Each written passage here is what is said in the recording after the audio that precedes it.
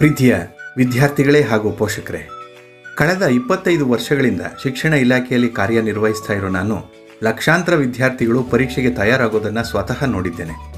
ಈ ಎಪಿಸೋಡ್ನಲ್ಲಿ ನಾನು ಕಂಡ ಸ್ವಂತ ಅನುಭವಗಳನ್ನು ಓದಿನಲ್ಲಿ ಏನೇನೂ ಸಾಧನೆ ಮಾಡದ ವಿದ್ಯಾರ್ಥಿಗಳು ಧೂಳಿನಿಂದ ಫಿನಿಕ್ಸ್ನಂತೆ ಹೇಗೆ ಮೇಲೆದ್ದು ಬರ್ತಾರೆ ಅನ್ನೋದನ್ನು ನಿಮ್ಮೊಟ್ಟಿಗೆ ಶೇರ್ ಮಾಡ್ಕೊಳ್ತಾ ಇದ್ದೇನೆ. ಪರೀಕ್ಷೆಯಲ್ಲಿ ಹೆಚ್ಚು ಅಂಕ ಗಳಿಸಲಿಕ್ಕೆ ಸದ್ಯಕ್ಕೆ ಏನು ಮಾಡಬೇಕು ಅನ್ನೋದ್ರ ಬಗ್ಗೆ ವಿಶೇಷ ಮಾಹಿತಿಗಳನ್ನು ಹೇಳ್ತಾ ಇದ್ದೀನಿ. ನಾನು ಹೇಳೋದನ್ನು ಅನುಸರಿಸಿದರೆ ಎಂತಹ ವಿದ್ಯಾರ್ಥಿಯೂ ಕೂಡ ಪರೀಕ್ಷೆಯನ್ನು ಆತ್ಮವಿಶ್ವಾಸದಿಂದ ಎದುರಿಸಿ ಉತ್ತೀರ್ಣತೆಗೆ ಬೇಕಾದಷ್ಟು ಅಂಕಗಳನ್ನು ತೆಗೆದೇ ತೆಗಿತಾನೆ ಅನ್ನುವಂತಹ ಭರವಸೆ ನನಗಿದೆ. ಈ ಎಪಿಸೋಡ್ನಲ್ಲಿ ನಾಲ್ಕು ವಿಶೇಷ ಭಾಗಗಳನ್ನು ನೀವು ನೋಡ್ತೀರಿ.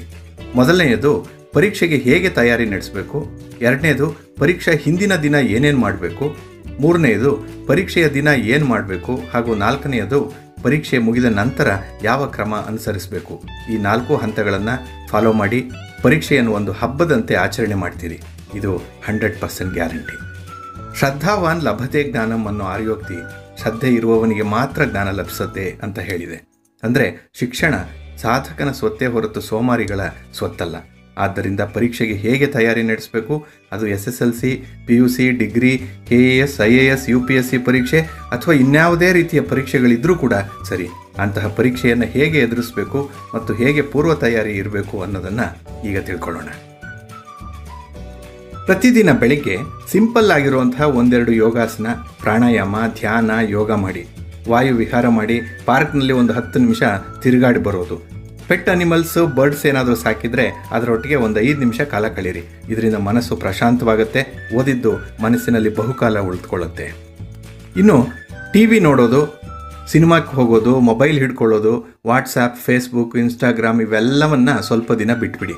ಇದರಿಂದ ಮೈಂಡ್ ಡಿಸ್ಟ್ರಾಕ್ಷನ್ ಆಗುತ್ತೆ, ಓದುವಾಗ ಕಾನ್ಸಂಟ್ರೇಷನ್ ಇರಲ್ಲ. ಕಣ್ಣುಗಳಿಗೆ ಸ್ಟ್ರೈನ್ ಕೂಡ ಆಗುತ್ತೆ. ಆಗ ಬೇಗ ನಿದ್ದೆ ಬರುತ್ತೆ, ತುಗುಡಿಕೆ ಬರುವಂತಾಗುತ್ತೆ, ಒಟ್ಟಿನಲ್ಲಿ ಆರೋಗ್ಯ ಹಾಳು, ಟೈಮ್ ಕೂಡ ವೇಸ್ಟ್ ಆಗುತ್ತೆ. Time is money. ಒಂದು ನಿಮಿಷಕ್ಕೆ ಒಂದು ಮಾರ್ಕ್ ಬರುತ್ತೆ ಅನ್ನೋ ರೀತಿಯಲ್ಲಿ ನಿಮ್ಮ ಟೈಮ್ ಮ್ಯಾನೇಜ್ಮೆಂಟ್ ಇರಬೇಕು. ಓದುವ ಕೋಣೆಯಲ್ಲಿ ಸಾಧಕರ ಫೋಟೋಗಳನ್ನು ಹಾಕ್ಕೊಳ್ಳಿ. ಇದರಿಂದ ನಿಮಗೆ ಸ್ಫೂರ್ತಿ ಸಿಕ್ಕತ್ತೆ. ಆದರ್ಶ ವ್ಯಕ್ತಿಗಳನ್ನು ಸದಾ ನೆನಪಿಸ್ಕೊಳ್ತಾ ಇರಿ. ಅವರ ಫೋಟೋವನ್ನು ಅವರು ಬರೆದಿರುವಂತಹ ಪುಸ್ತಕಗಳನ್ನು ಹತ್ತಿರ ಇಟ್ಕೊಳ್ಳಿ. ಸಾಧನೆ ಮಾಡಿರುವಂತಹ ಕನಸನ್ನು ಕಾಣಬೇಕು. ಪತ್ರಿಕೆಯಲ್ಲಿ ಟಿ ವಿ ಮಾಧ್ಯಮದಲ್ಲಿ ಹೆಚ್ಚು ಅಂಕ ಬಂದರೆ ಸಂದರ್ಶನ ಮಾಡ್ತಾರೆ. ಮುಂದೆ ಒಳ್ಳೆಯ ಕಾಲೇಜಿನಲ್ಲಿ ಸೀಟ್ ಸಿಕ್ಕತ್ತೆ, ಒಳ್ಳೆ ಕೋರ್ಸ್ ಮಾಡಬಹುದು ಅನ್ನೋದ್ರ ಬಗ್ಗೆ ಒಂದು ವಿಜುವಲೈಸ್ ಮಾಡಿಕೊಳ್ಳಿ. ಆತ್ಮವಿಶ್ವಾಸವನ್ನು ಬೆಳೆಸ್ಕೊಳ್ಳಿ. ಪರೀಕ್ಷೆ ಅಂದರೆ ಭಯ ಪಡಬಾರ್ದು. ನೀವು ಓದಿದ್ದಷ್ಟೇ ಬರುತ್ತೆ ಅನ್ನೋಂಥ ಕಾನ್ಫಿಡೆನ್ಸ್ ಇರಲಿ. ಪರೀಕ್ಷೆಯಲ್ಲಿ ಇನ್ವಿಜಿಲೇಟರ್ಸ್ ಹೆಲ್ಪ್ ಮಾಡ್ತಾರೆ ಅಂತನೋ, ನಿಮ್ಮ ಸ್ನೇಹಿತರು ಸಹಾಯ ಮಾಡ್ತಾರೆ ಅಂತನೋ ಕಾಪಿ ಮಾಡಲಿಕ್ಕೆ ಅವಕಾಶ ಸಿಕ್ಕತ್ತೆ ಅಂತನೋ, ಅಥವಾ ಕ್ವಶನ್ ಪೇಪರ್ ಆ ದಿನ ಬೆಳಗ್ಗೆನೇ ಸಿಕ್ಬಿಡತ್ತೆ ಅಂತನೋ, ಇಂತಹ ನೆಗೆಟಿವ್ ಥಾಟ್ಸ್ ಬೇಡ. ಇವೆಲ್ಲ ಆಗೋದು ಇಲ್ಲ. ನೀವು ಈ ಬಗ್ಗೆ ವಾಟ್ಸಾಪ್ ನೋಡೋದನ್ನು ನಿಲ್ಲಿಸೋದು ಇಲ್ಲ. ಇದರಿಂದ ಟೈಮ್ ವೇಸ್ಟ್ ಆಗೋದೊಂದೇ ಅಲ್ಲ. ಇವುಗಳಿಗೆ ಯಾವುವೂ ದೊರೆಯದಿದ್ದಾಗ ಪರೀಕ್ಷೆ ಹಾಲ್ನಲ್ಲಿ ಭಯ, ಕೈ ನಡುಕ ಉಂಟಾಗುತ್ತೆ. ಆದ್ದರಿಂದ ಇವುಗಳ ಬಗ್ಗೆ ನೀವು ಯೋಚನೆಯನ್ನು ಮಾಡಬೇಡಿ. ಸಾಧ್ಯ ಅಂದರೆ ಸಾಧ್ಯ, ಅಸಾಧ್ಯ ಅಂದರೆ ಅಸಾಧ್ಯ ಅನ್ನೋ ಮಾತನ್ನು ಸದಾ ನೆನಪಿಸ್ಕೊಳ್ಳಿ. ಐ ಕ್ಯಾನ್ ಡೂ ಇಟ್ ಅನ್ನುವಂಥ ಆತ್ಮವಿಶ್ವಾಸದ ಮಾತುಗಳನ್ನು ಯಾವಾಗಲೂ ಹೇಳ್ಕೊಳ್ತಾ ಇರಿ. ಪೋಷಕರು ಮಕ್ಕಳಿಗೆ ಆತ್ಮವಿಶ್ವಾಸದ ಮಾತುಗಳನ್ನು ಹೇಳ್ತಾ ಇರಿ. ಆದರೆ ಬೇರೆ ಮಕ್ಕಳೊಂದಿಗೆ ಇವರನ್ನು ಯಾವತ್ತೂ ಹೋಲಿಸಿ ನಕಾರಾತ್ಮಕವಾಗಿ ಮಾತನಾಡಬೇಡಿ. ಸದಾ ಸ್ಫೂರ್ತಿಯನ್ನು ತುಂಬ್ತಾ ಇರಿ. ನಿಮ್ಮ ಪ್ರಯತ್ನಕ್ಕೆ ಅನುಗುಣವಾಗಿ ಓದಿ ಹದಿನೈದರಿಂದ ಇಪ್ಪತ್ತು ಪರ್ಸೆಂಟು ಓದಲಿಕ್ಕೆ ಆಗದಿದ್ದಾಗ ಚಿಂತೆ ಮಾಡಬೇಡಿ. ಏನು ಓದಿದ್ದೀರೋ ಅದನ್ನೇ ಕಾನ್ಫಿಡೆನ್ಸ್ನಿಂದ ರೀಕಾಲ್ ಮಾಡ್ಕೊಳ್ಳಿ. ಇದರಿಂದ ಎಕ್ಸಾಮ್ ಫೋಬಿಯಾ ದೂರ ಆಗುತ್ತೆ. ಪರೀಕ್ಷೆ ನಾಳೆ ಇದೆ ಅನ್ನೋವಾಗ ಎಷ್ಟೋ ವಿದ್ಯಾರ್ಥಿಗಳು ರಾತ್ರಿ ಇಡೀ ಸೀರಿಯಸ್ ಆಗಿ ಓದಕ್ಕೆ ಕೊಡ್ತಾರೆ ಇದು ತಪ್ಪು. ಪರೀಕ್ಷೆ ಯಾವಾಗ ಇದೆ ಅನ್ನೋದನ್ನು ಮೊದಲೇ, ಅಂದರೆ ಐದಾರು ತಿಂಗಳು ಮೊದಲೇ ಒಂದು ಟೈಮ್ ಟೇಬಲ್ ಹಾಕ್ಕೊಳ್ಬೇಕು. ಕೌಂಟೌನ್ ಡೇಸ್ ಅನ್ನು ನೀವು ಓದುವ ಸ್ಥಳದಲ್ಲಿ ನಿಮಗೆ ಪ್ರತಿದಿನ ಕಾಣಿಸೋ ಹಾಗೆ ಬರೆದಿಟ್ಕೊಳ್ಬೇಕು. ಶಾಲೆ, ಕಾಲೇಜಿನಿಂದ ಬಂದ ಕೂಡಲೇ ಒಂದು ಗಂಟೆ ರಿಲ್ಯಾಕ್ಸ್ ಮಾಡೋದು, ಅರ್ಧ ಗಂಟೆ ಸ್ನೇಹಿತರ ಜೊತೆ ಇರೋದು, ಸಂಜೆ ಆರು ಮೂವತ್ತರಿಂದ ಹತ್ತು ಗಂಟೆವರೆಗೆ ಓದೋದು, ಅದರಲ್ಲೂ ಸಬ್ಜೆಕ್ಟ್ ವೈಸ್ ಟೈಮ್ ಕೊಡಬೇಕು. ಹತ್ತು ಮೂವತ್ತಕ್ಕೆ ಮಲಗೋದು ಬೆಳಗ್ಗೆ ಬ್ರಾಹ್ಮಿ ಮುಹೂರ್ತದಲ್ಲಿ. ಅಂದರೆ ನಾಲ್ಕು ಮೂವತ್ತಕ್ಕೆ ಎದ್ದು ನಿತ್ಯ ಕರ್ಮಗಳನ್ನು ಮುಗಿಸ್ಕೊಂಡು ಓದೋದು. ವಾತಾವರಣ ಆಗ ಪ್ರಶಾಂತವಾಗಿರೋದ್ರಿಂದ ಓದಿದ್ದು ನೆನಪಿನಲ್ಲಿ ಉಳಿಯುತ್ತೆ. ಯಾರ ಡಿಸ್ಟರ್ಬೆನ್ಸ್ ಇರಲ್ಲ, ಸಾಧನೆ ಮಾಡಲಿಕ್ಕೆ ಪ್ರಶಸ್ತವಾದ ಸಮಯ ಇದು. ನಿಮಗೆ ಎಷ್ಟು ಪೊಟೆನ್ಷಿಯಲ್ ಇದೆಯೋ ಅಷ್ಟು ಮಾತ್ರ ಓದಿ. ತುಂಬ ಪ್ರೆಷರ್ ಹಾಕಬೇಡಿ. How much I can study ಅನ್ನೋದನ್ನು ನಿಮಗೆ ನೀವೇ ಕಮಿಟ್ಮೆಂಟ್ ಹಾಕ್ಕೊಳ್ಳಿ. ನಿಮ್ಮಲ್ಲಿನ ಶಕ್ತಿ ಮತ್ತು ಯುಕ್ತಿಯನ್ನು ಕೇಂದ್ರೀಕರಿಸಿ ಓದಿ. ಕರ್ಮಣ್ಯೇ ವಾಧಿಕಾರಸ್ಥೆ, ಮಾ ಫಲೇಶು ಕದಾಚನ ಅಂತ ಭಗವದ್ಗೀತೆಯಲ್ಲಿ ಶ್ರೀಕೃಷ್ಣ ಹೇಳಿರುವಂತೆ ಕೆಲಸ ನಿಮ್ಮದು. ಫಲಾಫಲಗಳನ್ನು ಭಗವಂತನಿಗೆ ಬಿಟ್ಬಿಡಿ. ಇದರಿಂದ ನಿಮ್ಮ ಮಾನಸಿಕ ಹೊರೆ ಭಯ ದುಗುಡ ಕಮ್ಮಿಯಾಗುತ್ತೆ. ಪ್ರತಿ ಪಾಠದಿಂದ, ಪ್ರತಿ ಘಟಕದಿಂದ ಎಷ್ಟು ಅಂಕದ ಪ್ರಶ್ನೆಗಳು ಬರಬಹುದು ಅನ್ನುವಂಥ ಒಂದು ಬ್ಲೂ ಪ್ರಿಂಟನ್ನು ಮಾಡಿಟ್ಕೊಳ್ಳಿ. ಈ ವೆಯ್ಟೇಜ್ ನೋಡಿಕೊಂಡೇ ನೀವು ಪ್ರತಿದಿನ ಓದಬೇಕಾಗತ್ತೆ. ಕೆಲವು ಸಬ್ಜೆಕ್ಟ್ಗಳಲ್ಲಿ ಸಂಶಯ ಇರುತ್ತೆ. ಅದನ್ನು ನಿಮ್ಮ ಟೀಚರ್ಸ್ ಹತ್ರ ಫ್ರೆಂಡ್ಸ್ ಹತ್ರ ಕೂಡಲೇ ಡಿಸ್ಕಸ್ ಮಾಡಿ ಸರಿ ಉತ್ತರವನ್ನು ಕಂಡುಕೊಳ್ಳಿ. ಇದಕ್ಕಾಗಿಯೇ ಫ್ರೆಂಡ್ಸ್ ಜೊತೆ ಮನೆಗೆ ಹೋಗೋದು ಕಂಬೈನ್ಡ್ ಸ್ಟಡಿ ಮಾಡ್ತೀನಿ ಗ್ರೂಪ್ ಸ್ಟಡಿ ಮಾಡ್ತೀನಿ ಅಂತ ಹೊರಗೆ ಹೋಗಬೇಡಿ. ಇದರಿಂದ ವೃಥ ಟೈಮ್ ವೇಸ್ಟ್ ಆಗುತ್ತೆ. ಓದಿದ್ದನ್ನು ಬರೆಯುವ ಅಭ್ಯಾಸ ತುಂಬ ಒಳ್ಳೆಯದು ಹತ್ತು ಸಲ ಓದೋದು ಒಂದೇ, ಒಂದು ಸಲ ಬರೆಯೋದು ಒಂದೇ. ಅದಕ್ಕೆ ಸರ್ವಜ್ಞ ಹೇಳ್ತಾನೆ, ಕರೆಯದೇ ಬರುವವನ, ಬರೆಯದೇ ಓದುವವನ, ಕರೆದು ಕೆರದಲ್ಲಿ ಹೊಡೆ ಅಂದ ಸರ್ವಜ್ಞ ಅಂತ ಹೇಳಿ. ಆದ್ದರಿಂದ ಒಂದು ರಫ್ ಬುಕ್ಕನ್ನು ಇಟ್ಕೊಂಡು ಬರಿತಾ ಇರಿ, ಇದರಿಂದ ಮೆಮೊರಿ ಪವರ್ ಜಾಸ್ತಿ ಆಗುತ್ತೆ ಅಂತ ಸಂಶೋಧಕರು ಹೇಳಿದ್ದಾರೆ. ಇನ್ನು ಪರೀಕ್ಷಾ ಸಮಯದಲ್ಲಿ ನೋಟ್ಸ್ ಎಕ್ಸ್ಚೇಂಜ್ ಮಾಡೋದು ಬುಕ್ಸ್ ಎರವಲು ಕೊಡೋದು, ಇದನ್ನೆಲ್ಲ ಮಾಡಬೇಡಿ. ನಿಮ್ಮ ಪುಸ್ತಕಗಳು, ನಿಮ್ಮ ಬುಕ್ಸ್ಗಳು ರೆಫರೆನ್ಸ್ ಬುಕ್ಸ್ಗಳೆಲ್ಲ ನಿಮ್ಮ ಬಳಿಯೇ ಇಟ್ಕೊಂಡಿರಬೇಕು.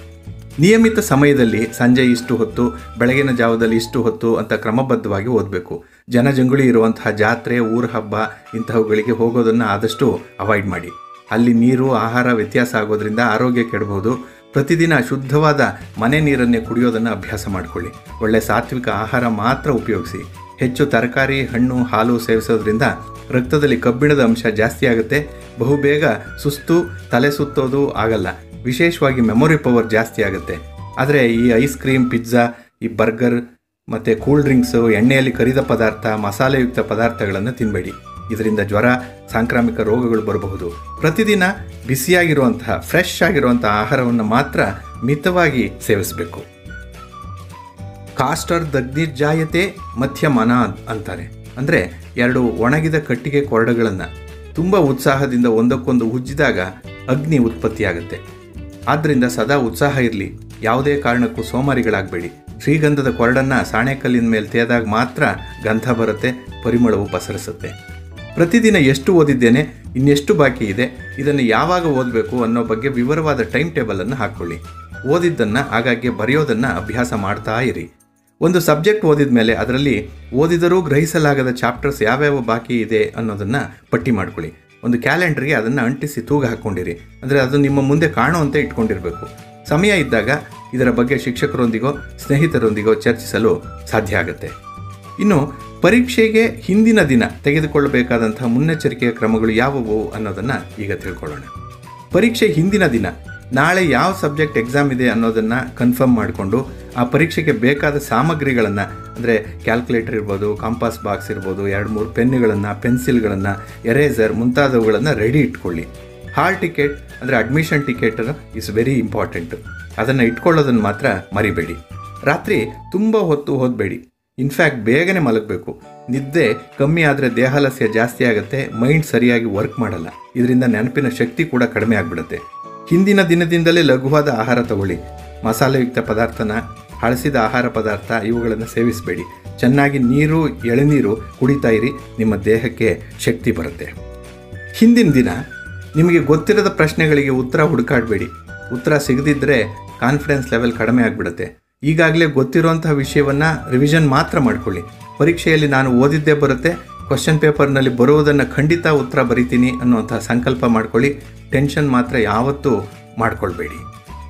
ಇನ್ನು ಪರೀಕ್ಷೆಗೆ ಹೋಗುವ ಮೊದಲು ಏನೇನು ಮಾಡಬೇಕು ಅನ್ನೋದ್ರ ಬಗ್ಗೆ ತಿಳ್ಕೊಳ್ಳೋಣ. ಪರೀಕ್ಷೆ ದಿನ ಬಂದಿದೆ. ಅದರ ಹಿಂದಿನ ದಿನ ನಿಮಗೆ ಚೆನ್ನಾಗಿ ನಿದ್ರೆ ಆಗಿರುತ್ತೆ. ಮಾರನೇ ದಿನ ಭಗವಂತನನ್ನು ಸ್ಮರಣೆ ಮಾಡ್ತಾ ಹಾಸಿಗೆಯಿಂದ ಎದ್ದೇಳಿ, ದೇಹವನ್ನು ಶುಚಿ ಮಾಡ್ಕೊಳ್ಳಿ. ನಿಮಗೆ ಕಂಫರ್ಟಬಲ್ ಅನಿಸುವಂಥ ಉಡುಪುಗಳನ್ನು ಮಾತ್ರ ಧರಿಸ್ಕೊಳ್ಳಿ ಅವತ್ತು. ದೇವರಿಗೆ ಪೂಜೆ ಮಾಡಿ, ನಮಸ್ಕಾರ ಮಾಡಿ. ತಂದೆ, ತಾಯಿ, ಗುರಿ ಹಿರಿಯರು ಮನೇಲಿದ್ದರೆ ಅವ್ರಿಗೂ ನಮಸ್ಕಾರ ಮಾಡಿ ಆಶೀರ್ವಾದ ಪಡ್ಕೊಳ್ಳಿ. ನೀವೇ ವಾಹನ ಓಡಿಸ್ಕೊಂಡು ಹೋಗೋದ್ರ ಬದಲು ಬಸ್ಸಲ್ಲೋ, ಆಟೋದಲ್ಲೋ ಅಥವಾ ಯಾರಿಂದನಾದರೂ ಡ್ರಾಪ್ ತಗೊಳ್ಳಿ. ಈಗಾಗಲೇ ಹೇಳಿದಾಗೆ ಪರೀಕ್ಷೆಗೆ ಹೋಗುವಾಗ ಲಘುವಾದ ಆಹಾರವನ್ನು ಮಾತ್ರ ಸೇವನೆ ಮಾಡ್ತಾ ಇರಿ. ಹೋಗೋ ದಾರಿಲಿ ಓದಿದ್ದನ್ನು ಮಾತ್ರ ಸ್ಮರಣೆ ಮಾಡ್ಕೊಳ್ತಾ ಹೋಗಿ. ಜೊತೆಗೆ ಹಾಲ್ ಟಿಕೆಟನ್ನು, ಪೆನ್ನು, ಕುಡಿಯೋ ನೀರು, ಈ ಕಾಂಪಾಕ್ಸ್ ಬಾಕ್ಸು, ಕ್ಯಾಲ್ಕುಲೇಟ್ರು, ವಾಚ್ ಇಂಥದನ್ನು ನಿಮ್ಮ ಬಳಿ ಇಟ್ಕೊಂಡಿರಿ. ಸಮಯಕ್ಕಿಂತ ಅರ್ಧ ಗಂಟೆ ಮೊದಲು ಪರೀಕ್ಷಾ ಕೇಂದ್ರಕ್ಕೆ ಹೋಗಿ ನಿಮ್ಮ ಕೊಠಡಿ ಸಂಖ್ಯೆ ಯಾವುದು ಅನ್ನೋದನ್ನು ಹುಡುಕಿಟ್ಕೊಳ್ಳಿ. ಆ ಸಮಯದಲ್ಲಿ ಕ್ವಶನ್ಸ್ ಬಗ್ಗೆ ಆನ್ಸರ್ಸ್ ಬಗ್ಗೆ ನಿಮ್ಮ ಫ್ರೆಂಡ್ಸ್ ಜೊತೆ ಡಿಸ್ಕಸ್ ಮಾಡಬೇಡಿ, ಹೆಚ್ಚು ಮಾತಾಡಬೇಡಿ, ಶಾಂತವಾಗಿರಿ, ಪ್ರಶಾಂತವಾಗಿರಿ. ಶೌಚಾಲಯಕ್ಕೆ ಹೋಗಿ ಬನ್ನಿ. ನಿಮಗೆ ಕಾನ್ಫಿಡೆನ್ಸ್ ಇರಲಿ ಟೆನ್ಷನ್ ಅಂತ ಯಾವ ಸಮಯದಲ್ಲೂ ಅಂದ್ಕೊಳ್ಬೇಡಿ. ಇನ್ನು ನೆಕ್ಸ್ಟ್ ಸ್ಟೇಜ್ ಏನು ಅನ್ನೋದನ್ನು ಹೇಳ್ತೀನಿ. ಪರೀಕ್ಷಾ ಕೊಠಡಿಯೊಳಗೆ ಹೋಗಿ ಪರೀಕ್ಷೆ ಬರೀಲಿಕ್ಕೆ ಪ್ರಾರಂಭ ಮಾಡಿದಾಗ ಏನು ಮಾಡಬೇಕು ಅನ್ನೋದ್ರ ಬಗ್ಗೆ ಒಂದು ಟಿಪ್ಸ್ ಹೇಳ್ತೀನಿ. ದಯವಿಟ್ಟು ಕೇಳಿಸ್ಕೊಳ್ಳಿ. ಎಕ್ಸಾಮ್ ಹಾಲ್ಗೆ ಓದ ಕೂಡಲೇ ಕೆಲವರಿಗೆ ಟೆಂಪ್ಟ್ ಆಗುತ್ತೆ ಟೆನ್ಷನ್ ಆಗಿಬಿಡುತ್ತೆ. ಇದನ್ನೇ ಎಕ್ಸಾಮ್ ಫಿಯರ್ ಅಂತೀವಿ. ಘಟಾನುಘಟಿಗಳಿಗೂ ಕೂಡ ಇಂಥ ಫಿಯರ್ ಇದ್ದೇ ಇರುತ್ತೆ. ಭಾವೋದ್ವೇಗಕ್ಕೆ ಒಳಗಾಗೋದು, ಆಗ ಓದಿರುವಂತಹ ವಿಷಯಗಳನ್ನು ಮರಿತೀವಿ, ಈ ಮೆದುಳಿನಲ್ಲಿ ಆಂಗ್ಸೈಟಿಕ್ ಹಾರ್ಮೋನ್ ಅನ್ನುವಂಥದ್ದು ಬಿಡುಗಡೆ ಆಗುತ್ತೆ. ಆಗ ಭಯ ಜಾಸ್ತಿ ಆಗುತ್ತೆ. ಅಡ್ರಿನಲ್ ಗ್ಲ್ಯಾಂಡ್ಸ್ ಬಿಡುಗಡೆ ಮಾಡುವಂತಹ ಅಡ್ರಿನಲೈನ್ ಹಾರ್ಮೋನ್ ಬಿಡುಗಡೆ ಆದಾಗ ಈ ಪ್ರಾಸೆಸ್ಸನ್ನು ನಾವು ಅಡ್ರಿನಲೈನ್ ಫ್ಯಾಟಿಕ್ ಅಂತ ಕರಿತೀವಿ. ಆಗ ನೆನಪುಗಳು ಬರದಂತೆ ಈ ಹಾರ್ಮೋನು ಬ್ಲಾಕ್ ಮಾಡಿಬಿಡುತ್ತೆ. ಆದ್ದರಿಂದ ಈ ಹಾರ್ಮೋನನ್ನು ಎಕ್ಸಾಮ್ ಟೈಮಲ್ಲಿ ತುಂಬ ಕಮ್ಮಿ ಮಾಡ್ಕೊಳ್ಬೇಕಾಗತ್ತೆ. ಆಗ ನಕಾರಾತ್ಮಕ ವಿಚಾರಗಳನ್ನು ಮನಸ್ಸಿಗೆ ತಂದುಕೊಳ್ಬೇಡಿ. ಎಕ್ಸಾಮಲ್ಲಿ ಓದಿದ್ದು ಬರುತ್ತೋ ಇಲ್ವೋ, ನನಗೆ ಜ್ಞಾಪಕಕ್ಕೆ ಬರುತ್ತೋ ಇಲ್ವೋ ಮಾರ್ಕ್ಸ್ ಬರುತ್ತೋ ಇಲ್ವೋ ಅನ್ನುವಂತಹ ಡೌಟ್ಸ್ ಬರಬಹುದು, ಚಿಂತೆ ಮಾಡಬೇಡಿ. ಆತ್ಮಸಾಕ್ಷಿಗೆ ತಕ್ಕಂತೆ ಇರಿ. ಐ ಆಮ್ ಬ್ರಿಲಿಯಂಟ್ ನಾನು ಸಾಕಷ್ಟು ಓದಿದ್ದೇನೆ, ಎಂಥ ಪ್ರಶ್ನೆಗೂ ಉತ್ತರವನ್ನು ಬರದೇ ಬರಿತೀನಿ ಅನ್ನುವಂಥ ಪಾಸಿಟಿವ್ ಥಿಂಕಿಂಗ್ ನಿಮಗಿರಲಿ. ಎಂಥ ಪ್ರಶ್ನೆ ಕೇಳಿದರೂ ಉತ್ತರಿಸ್ತೀನಿ ಅನ್ನುವಂಥ ಒಂದು ಕಾನ್ಫಿಡೆನ್ಸ್ ನಿಮ್ಮಲ್ಲಿರಬೇಕಾಗತ್ತೆ. ರೂಮ್ ಸೂಪರ್ವೈಸರ್ ನಿಮಗೆ ಆನ್ಸರ್ ಬುಕ್ಲೆಟ್ ಅನ್ನು ಕೊಟ್ಟಾಗ ಫೇಸಿಂಗ್ ಶೀಟ್ನಲ್ಲಿ ನಿಮ್ಮ ಡೀಟೇಲ್ಸನ್ನು ಬರೀರಿ. ರಿಜಿಸ್ಟರ್ ನಂಬರನ್ನು ಸರಿಯಾಗಿ ತಪ್ಪಿಲ್ಲದಂತೆ ಬಾಕ್ಸ್ ಒಳಗೆ ಬರೀರಿ. ಒಂದು ವೇಳೆ ತಪ್ಪಾಗೋಗಿದ್ರೆ ಬಾಕ್ಸ್ ಮೇಲೆ ಆ ನಂಬರನ್ನು ಬರೀರಿ. ಆಗ ಇನ್ವಿಜಿಲೇಟರ್ ಸಹಾಯವನ್ನು ಪಡೆದುಕೊಳ್ಳಿ. ಇನ್ನು ಕ್ವಶನ್ ಪೇಪರ್ ಪಡೆದುಕೊಂಡಾಗ ದೀರ್ಘವಾದ ಉಸಿರನ್ನು ಹೊರಹಾಕಬೇಕಾಗುತ್ತೆ. ಮೆದುಳು ಕಾಮ್ ಆಗಕ್ಕೆ ಬಿಡಿ. ಭಾವೋದ್ವೇಗ ಬೇಡ. ಐದು ಹತ್ತು ನಿಮಿಷ ಮೂಗಿನಿಂದ ಉಸಿರನ್ನು ತೆಗೆದುಕೊಂಡು ಬಾಯಿಯಿಂದ ಉಸಿರನ್ನು ಹೊರಹಾಕಿ. ಇನ್ನು ಪರೀಕ್ಷಾ ಸಮಯದಲ್ಲಿ ನೀವು ಎರಡು ಮೂರು ಸಲ ನೀರನ್ನು ಕುಡಿಬೇಕು. ಬಾಟಲನ್ನು ತೆಗೆದುಕೊಂಡು ಹೋಗಿ, ಆಗ ಮೇಲೆ ಹೇಳಿದಂತಹ ಹಾರ್ಮೋನ್ ಬಿಡುಗಡೆ ಆಗಲ್ಲ. ಆಗ ಭಯನೂ ಬರಲ್ಲ. ಇನ್ನು ಆನ್ಸರನ್ನು ವಿಜುವಲೈಸ್ ಮಾಡಿಕೊಳ್ಳಿ. ಎಷ್ಟು ಮಾರ್ಕ್ಸ್ ಇದೆ ನೋಡಿ ಅಷ್ಟಕ್ಕೆ ಮಾತ್ರ ಉತ್ತರ ಬರೆಯೋಕ್ಕೆ ಸಿದ್ಧತೆಯನ್ನು ಮಾಡಿಕೊಳ್ಳಿ. ಅಂದರೆ ಒಂದು ಮಾರ್ಕ್ಗೆ ನಿಮಗೆ ಗೊತ್ತಿರುವಂತಹ ಅರ್ಧ ಪುಟ ಆನ್ಸರನ್ನು ಬರಿಬಾರ್ದು. ಇನ್ಸ್ಟ್ರಕ್ಷನ್ಸನ್ನು ಸರಿಯಾಗಿ ಓದಿಕೊಳ್ಳಿ. ನಂತರ ಇಡೀ ಕ್ವಶನ್ ಪೇಪರನ್ನು ಐದು ಹತ್ತು ನಿಮಿಷದಲ್ಲಿ ಪೂರ್ಣವಾಗಿ ಓದಿ. ಮೊದಲು ಗೊತ್ತಿರುವಂತಹ, ಅಂದರೆ ಸುಲಭವಾಗಿ ನೀವು ಉತ್ತರಿಸಬಹುದಂತಹ ಕ್ವಶನ್ಸ್ಗೆ ಪೆನ್ಸಿಲಿಂದ ಒಂದು ಟಿಕ್ ಮಾಡ್ಕೊಳ್ಳಿ. ಅವುಗಳಿಗೆ ಉತ್ತರವನ್ನು ಪ್ರಾರಂಭಿಸಿ. Good beginning is half done ಅಂತ ಹೇಳ್ತಾರೆ. ಹಾಗಾಗಿ ಅಲ್ಲಿಂದ ಪ್ರಾರಂಭ ಮಾಡಿ. ಮೇನ್ ಕ್ವಶನ್ಸ್ ನಂಬರನ್ನ ಸಬ್ ಕ್ವಶನ್ಸ್ ನಂಬರನ್ನ ಸರಿಯಾಗಿ ಹಾಕಿ ಉತ್ತರವನ್ನು ಬರಿಬೇಕು. ಕೆಲವು ಸಬ್ಜೆಕ್ಟ್ಗಳಲ್ಲಿ ಅಂದವಾದ ಚಿತ್ರಗಳನ್ನು ಬಿಡಿಸೋಕ್ಕೆ, ಅಂದರೆ ಡಯಾಗ್ರಾಮನ್ನು ಬಿಡಿಸ್ಲಿಕ್ಕೆ ಮ್ಯಾಪನ್ನು ಬರೀಲಿಕ್ಕೆ ಕೇಳಿರ್ತಾರೆ. ಹಿಂದಿನ ದಿನನೇ ಇದನ್ನು ಪ್ರಾಕ್ಟೀಸ್ ಮಾಡಿರಬೇಕು. ಇಲ್ಲಿ ಭಾಗಗಳನ್ನು ಗುರುತು ಮಾಡುವಂಥದ್ದು ಚಿತ್ರದ ಹೆಸರನ್ನು ಚಿತ್ರದ ಕೆಳಗೆ ಬರೀಬೇಕು.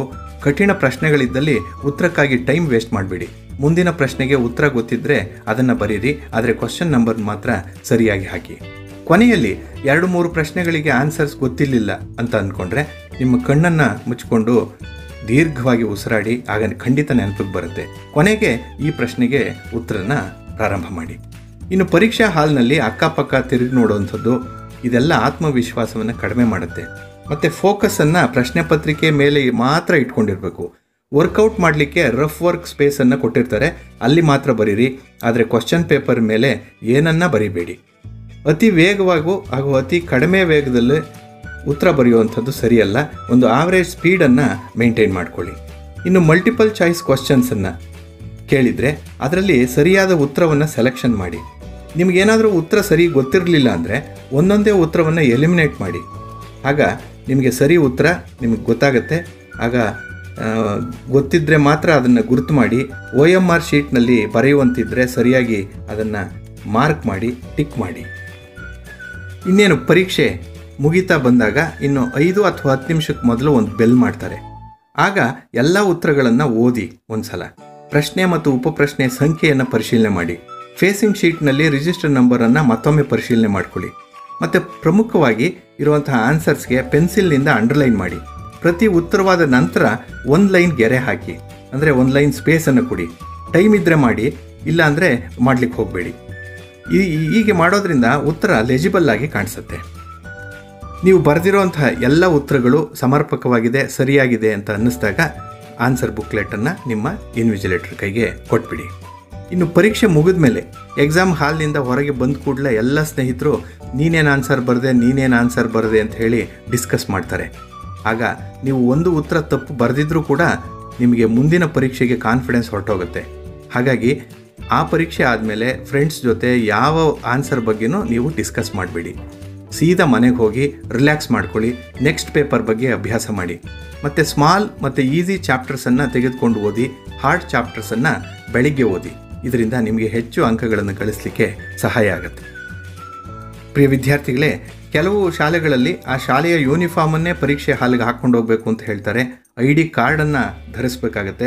ಮತ್ತು ಕ್ಯಾಲ್ಕುಲೇಟರ್ನ ಅಲೋ ಮಾಡಾಗಿದ್ದರೆ ಮಾತ್ರ ತೊಗೊಂಡೋಗಿ ಹಾಲ್ ಟಿಕೆಟನ್ನು ಮತ್ತು ಪೆನ್ಗಳನ್ನು ಮರೀದೆ ತೆಗೆದುಕೊಂಡು ಹೋಗಬೇಕಾಗತ್ತೆ.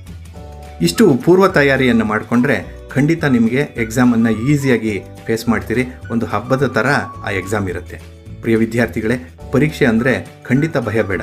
ನೀವು ಓದಿದ್ದು ಬಂದೇ ಬರುತ್ತೆ. ಒಂದು ಸಬ್ಜೆಕ್ಟ್ನಲ್ಲಿ ಒಂದೆರಡು ಅಂಕಗಳು ಹೋದರೂ ಪರವಾಗಿಲ್ಲ. ಮುಂದಿನ ಸಬ್ಜೆಕ್ಟ್ನಲ್ಲಿ ಗಮನ ಹರಿಸಿ, ಆತ್ಮವಿಶ್ವಾಸ ಇರಲಿ, ಯಾವತ್ತೂ ಪಾಸಿಟಿವ್ ಥಿಂಕಿಂಗ್ ಇಟ್ಕೊಂಡಿರಬೇಕು. ನೀವು ಖಂಡಿತ ಗೆದ್ದೇ ಗೆಲ್ತೀರಿ. Don't worry wish you a very happy examination good luck